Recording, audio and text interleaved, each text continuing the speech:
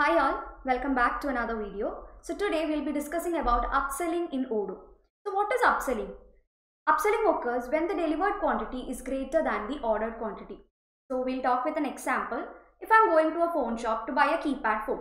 So my plan is to buy a keypad phone and there'll be a salesperson who's guiding me and he's asking me or he's convincing me to buy a touchscreen phone.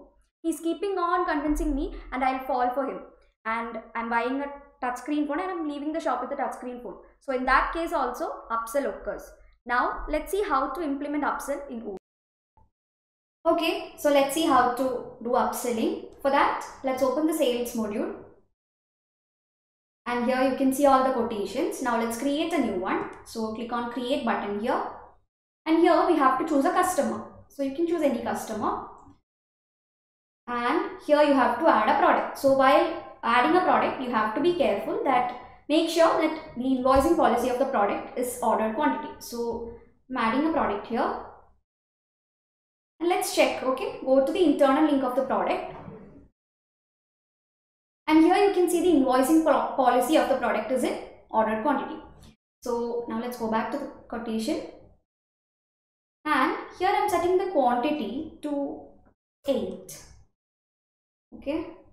And let's confirm it to a sale order.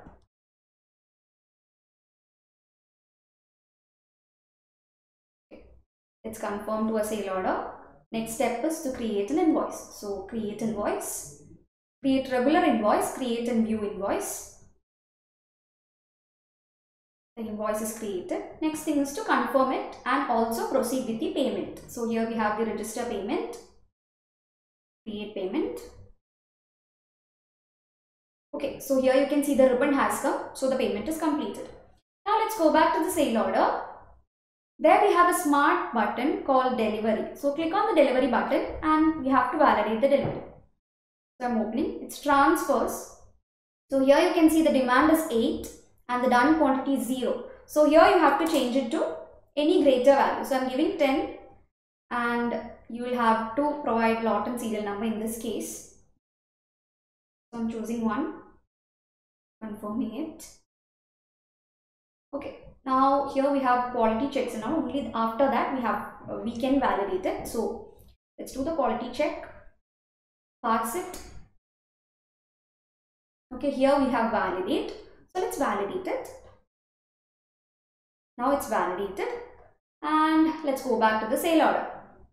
Now please take a look at the sale order reference. It's 90. Okay. Let's go to the invoice. Now before that, here you have the quantity is 8 and delivered quantity is 10. And also the invoice quantity is 8. That is we only invoice for the quantity which is ordered. Right. Now let's go to the menu here to invoice orders to upsell. Now here you can see our sale order has come. So this is how you do sale uh, upselling in uh, Odoo which is nothing but give a greater quantity for the delivered value than the ordered value. And we also have another thing which is the cross sell. In Odoo, cross sell and upsell both are the same. So that's it. I hope this was helpful. Thank you for watching.